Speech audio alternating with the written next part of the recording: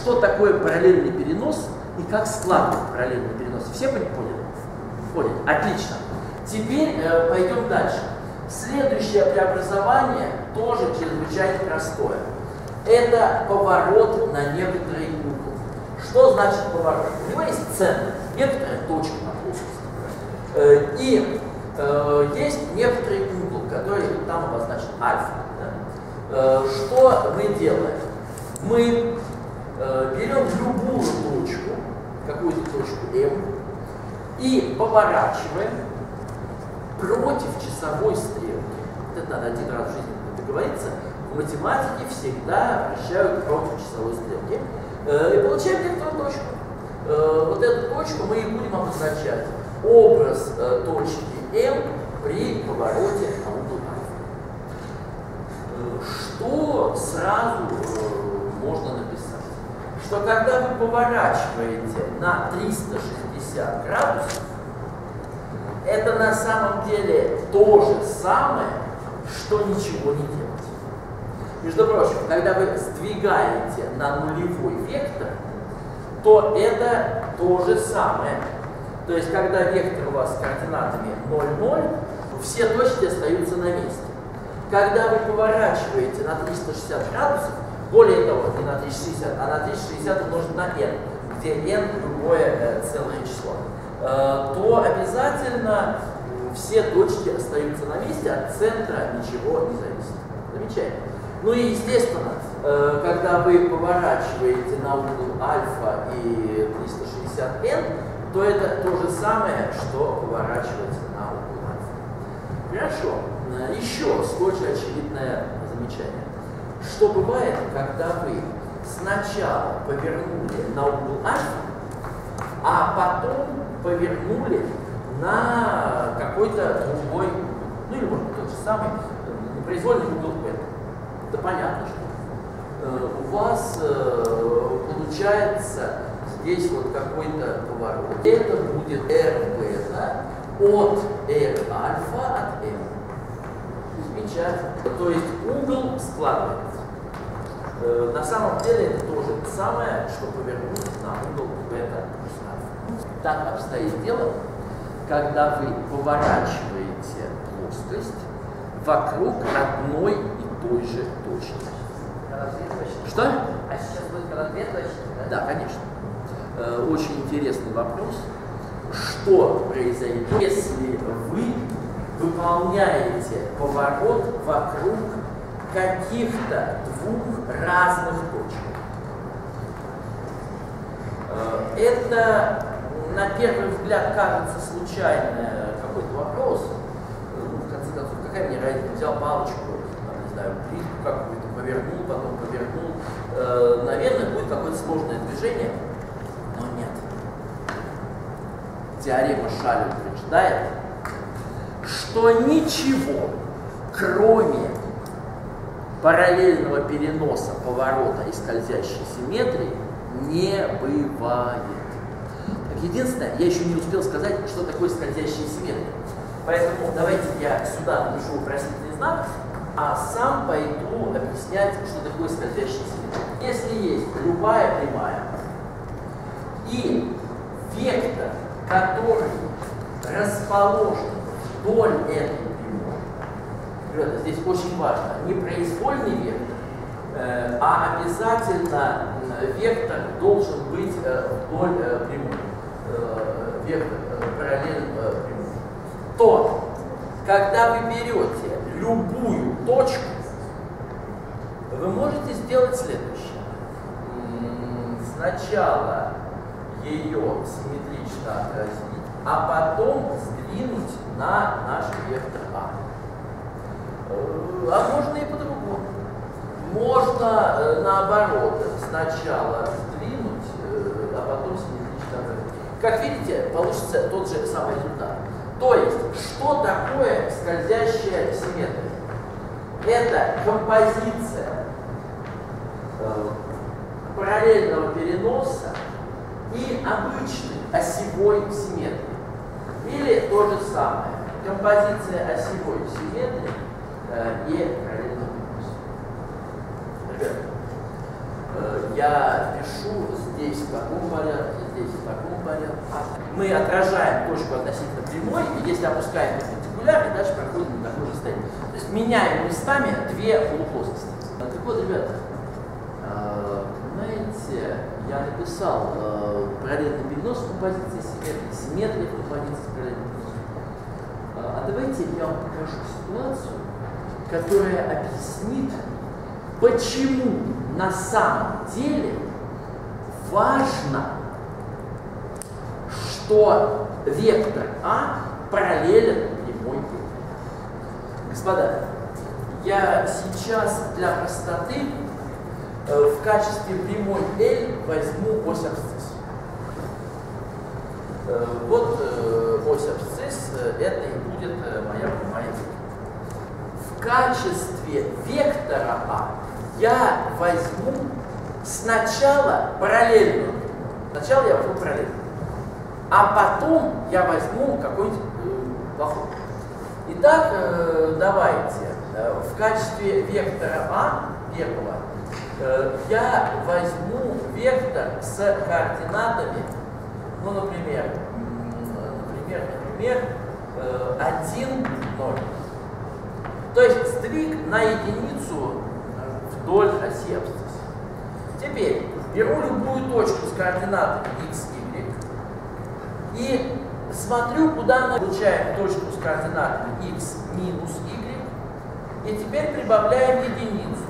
Получаем x плюс 1 минус y. Отлично. Отлично. Если в противоположном э, порядке делаем, то, соответственно, идем сюда. Вот.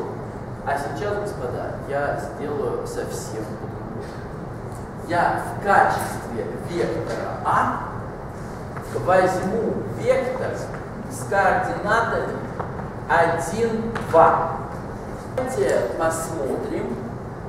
Вот здесь я уже буду э, рисовать две, э, четко э, две картинки, буду следить за ними. Да? Давайте посмотрим, что происходит, если сначала отражаешь а потом сдвигаешь на такой вектор. Э, показываю. При отражении э, мы получаем точку с координатами x минус y. А при сдвиге мы получаем точку с координатами x плюс 1 минус y плюс 2. Пожалуйста, запишите, посмотрите. Э, это важно, очень просто, но важно себе записать эти формулы. Итак, если мы сначала исполняем, сначала выполняем э, осевую симметрию, а затем выполняем э, параллельный перенос. Вот здесь вот SL, а здесь э, параллельный перенос на вектор с координатами 1, 2. Ну вот тогда не получается, что это равно. Получается вот так. Но если сначала делать параллельный вот, перенос... Вот, вот, вот, давайте делать. Сначала делаем параллельный перенос. Получается x плюс 1, y плюс 2. Господа, э, это понятно. А что такое симметрия относительно оси абсцисс? Мы должны поменять знак перед э, координатой. Получается x плюс 1 минус y минус 2. Так, сравните, пожалуйста, эти два выражения. x плюс 1 одно и то же, все хорошо. Здесь минус y, здесь минус y, тоже все хорошо. Но здесь плюс 2, а здесь минус 2. А что делать с этим? Что делать с этим? Да. Скажите, пожалуйста, сначала одеть э, трусы, а потом брюки. Или сначала брюки, потом трусы. Есть Это дурак. одно и то же или нет? Разное, правильно? Да. Э, замечательно. Если дурак, то это... Замечательно. Сначала пойти в школу, а потом в театр. Дурак. Не знаю, куда вы там Ну, ходите. Вот сначала пойти в театр, а потом в школу. Согласны, что это разное? Нет, нет, нет, это Да не нет, это разные вещи. Э, Ребята, в жизни огромное количество э, дел, которые зависят от того, в каком порядке вы их делаете. сначала выучить язык, а потом переводить, э, на нем разговаривать, э, э, там, не знаю, смотреть фильмы, писать письма, или сначала начинаем писать, а потом учим язык. Есть разница? Есть разница. Э, Ребята, редко-редко, когда в жизни есть дела, которые на самом деле не зависят от порядка. Э, Бывают, бывают дела, которые не зависят от того порядка, в котором мы их делаем. Но чаще всего от порядка действий результат зависит.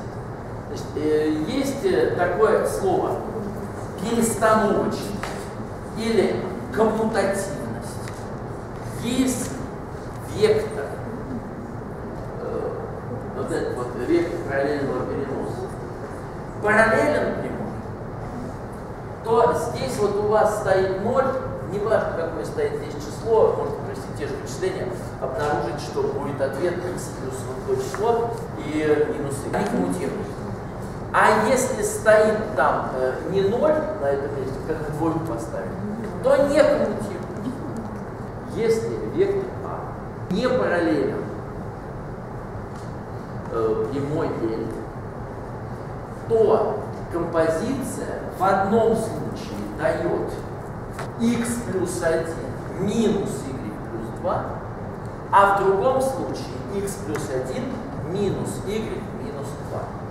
Первое упражнение, которое у нас с вами сегодня будет. Докажите, что отображение, переводящее точку с координатами x, y в точку с координатами x плюс 1 минус y плюс 2, это скользящая симметрия. Поймите, где находится ось этой симметрии и насколько надо вдоль этой оси сдвигать. И вторая задача.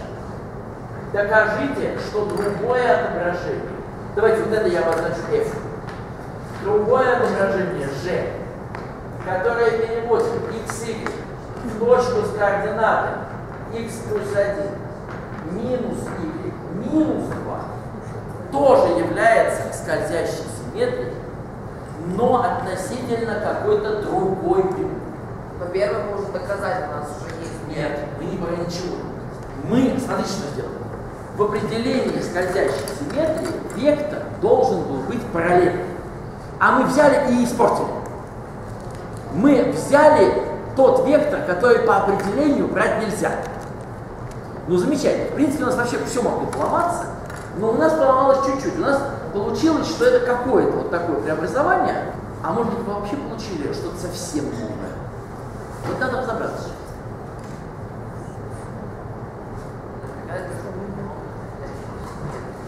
Так, э, я, я понятно сформулировал эту задачу? Докажите, что на самом деле оба эти преобразования это скользящие. Найдите для каждого из них прямую, относительно которой мы выполняем. Какую прямую взять вместо L? А перпендикулярную прямой x, y Неверно. плюс 1. Неверно. Дело в том, что от x, y ничего не должно зависеть. Да. Да. В том-то и идея, что преобразование должно быть общее для всей плоскости. Оно не должно зависеть, э, э, понимаете, конкретную точку в другую точку можно перевести огромным количеством способов. Важно не это. Важно, что вот это вот преобразование f, которое здесь написано, переводящее x, y в точку x плюс 1 с y плюс 2, может быть единообразно выполнено. То есть есть какая-то одна прямая, одна прямая, которую можно взять вместо L. И вдоль этой прямой сдвиг. Придумываем такую прямую. А когда она прямая, что x, y и x. Да не дана нам прямая XY. XY это произвольная точка на плоскости. Прямая не должна зависеть от XY. Вы должны взять такую прямую, что как и такой вектор сдвига вдоль нее, что когда сделаешь, то получится вот такой ответ.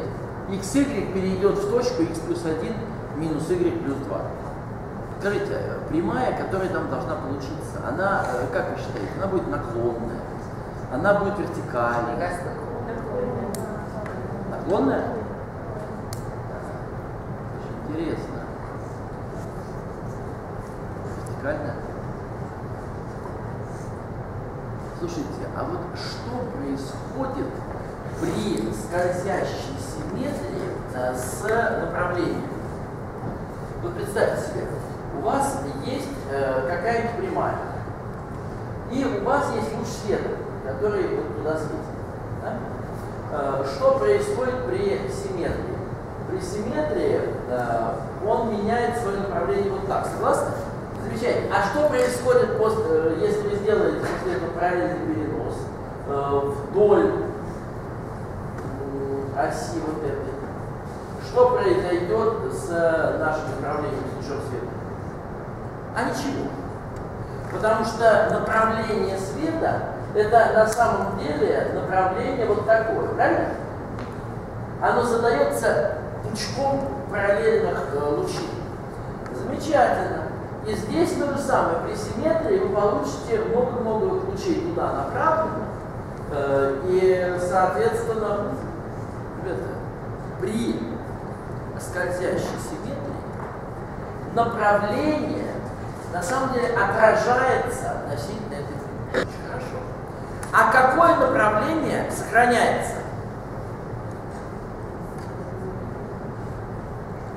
Есть одно направление, которое сохраняется. Какое? Направление Конечно. Вот это направление, смотрите, сюда направлено, э, отразится сюда. Направление то же самое. Вот. Скажите, пожалуйста, вот при таком изображении, когда вы к x прибавили двойку, а перед y поменяли знак, какое направление останется, а какие направления изменятся? Вертикальное направление во что перейдет? Вот смотрите, пусть мы увеличивали y. Что такое идти направление? Увеличивать y. Что будет происходить в этой формуле при увеличении y? Что будет происходить вот с этим выражением, если y увеличивается? Оно будет уменьшаться, правильно? y это миллион, а тогда минус y плюс 2 это минус миллион плюс 2. Чем больше будет y, тем меньше будет э, минус y плюс 2. Понятно? А какое направление не при вот этом отображении? Какое? Не слышу. Какое направление? Вертикальное или горизонтальное? Не изменится. Горизонтальное, конечно, ребята. Когда вы движетесь вдоль оси абсцисс направо, то что это означает координат? Что вы все время прибавляете к x какой-то величину, прибавляете, прибавляете. Так здесь будет то же самое. Если к x прибавили что-то, то к x плюс 1 то же самое и прибавите. То есть, получается, нужно прямую горизонтальную только а, y плюс 1, что ли? Надо прямую, горизонтальную, понять, на каком уровне ее провести. На одну больше. Ну, Получается 0 и получается 0 плюс 1. Именно на одну больше, ну, а на самом деле, или на одну меньше. Или Давайте на одну я втором. э, э, эти две картинки вам нарисую. Сейчас увидим. Давайте я нарисую вам эти две картинки, и на каждой из них все поймем. Э, Возьмем прямую m э, на единицу выше, чем э, ось э, абсцисса. И, соответственно, ровно на таком же расстоянии возьмем прямую n. Сейчас меня интересует следующее э, вычисление. Что будет, когда вы делаете симметрию относительно прямой m и сдвигаете э, на единицу вдоль оси абсцисс. Это одно вычисление. Вот представьте себе, что есть какая-то точка с координатами x. Я возьму ее специально здесь, чтобы... Но поверьте, что если взять в любом другом месте, ответ будет тот же самый. Э, сначала мы делаем э, вот так. Э, что это означает? Смотрите, вот здесь у нас величина, и теперь мы еще на единицу сдвигаем, получаем x плюс 1, 2 минус y. Господа, проверяйте, пожалуйста. Итак, нужно посмотреть, что между y и единицей y минус 1 Соответственно, из единицы надо вычесть y минус 1, получается 2 минус y. Э, и следует еще на единичку. Получается ответ x плюс 1, 2 э, минус y. Смотрим, что это такое. Это f. Это функция f. А вот теперь надо сделать э, в обратном порядке. Э, то есть э, надо не от единицы теперь, а вот от этой. Хорошо. Давайте посмотрим, что будет, э, если мы здесь вычисляем. Вот это был отрезок y, это y плюс 1. Вот этот весь вертикальный отрезок, давайте я покажу. Вот этот весь вертикальный отрезок, это на самом деле y плюс 1. Э, теперь надо от минус единицы отложить вниз y плюс 1. Что это значит? Надо из минус единицы вычесть y плюс 1. Получится минус 2 минус y. Ну, с x, понятно, будет x плюс 1. Ребята, если вы выполняете симметрию относительно прямой n, и потом сдвигаете, то у вас получается, смотрите, что э, та же самая величина x плюс 1, а здесь минус 2 минус y. Э, мы уже знаем, что это называется g-опись. Таким образом, когда вы берете вектор не параллельный прямой, то на самом деле получается тоже скользящая симметрия в качестве композиции параллельного переноса и обычной симметрии, но относительно другой прямой. А вот, э, что? А вот этот вопросик? Да. Не слышу. А про, про вопросик? Да, ну сейчас, сейчас дойдем. Сейчас дойдем. Э, мне важно, что э, вот вы сейчас попытались искать другое преобразование, то есть задали себе вопрос, когда вектор не параллелен прямой, может быть что-то новое получится. Не получилось. Получилась тоже скользящая симметрия, только относительно другой прямой. В зависимости от того, в каком порядке выполнять э, параллельный перенос и симметрию, получается или прямая m, или прямая m.